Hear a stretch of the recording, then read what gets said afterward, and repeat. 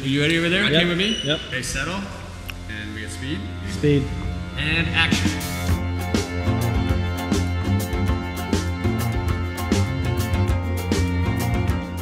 Hi, my name is Thomas Wold, and I'm a furniture builder, and I do the solid wold column for ReadyMade Magazine. Today we're going to build a project by Andrea Keller, and I'm going to show you how to make it.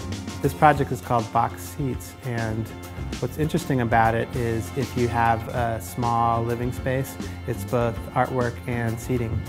The tools you'll need for this project are a ruler, pencil, table saw, packing tape nail gun, power drill, router, sander, a level.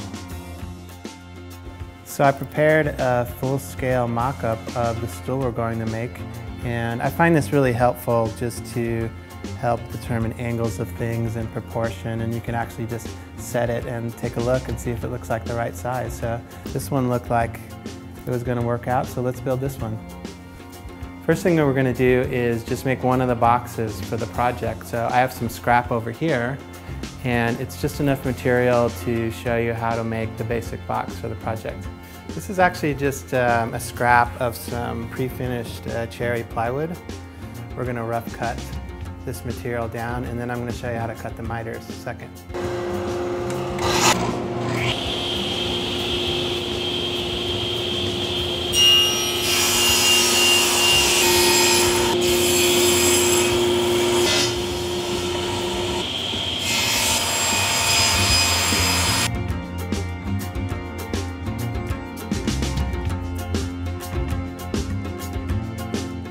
So I've got all the pieces cut and we're gonna go and put them together. So here's the mitered parts and basically what we're gonna do is just, we're gonna fold everything just like a box that's hinged. It's gonna um, be pretty simple to do. Um, let's set it up. You just wanna line up these corners pretty good and you let the tape pull it tight. So I push one edge down pretty firmly and just hold it and give it a little tug. It's really pulling it together now, and we just repeat that all the way around the box. So we've got the box all taped up, and the tricky part is to flip it over so we can uh, glue it up. Let's flip it. That's it, let's add some glue. So now we're gonna put some glue on the piece, and the key with doing that is, uh, is just not to put too much.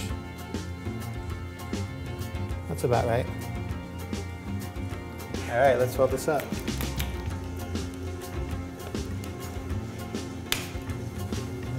So we want to tape these corners too like we did the top.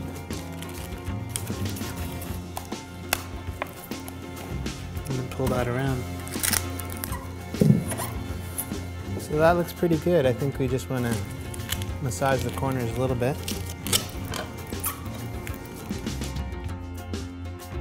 So our box is all taped up and we're gonna let it dry for a couple hours. So let's, uh, let's go outside.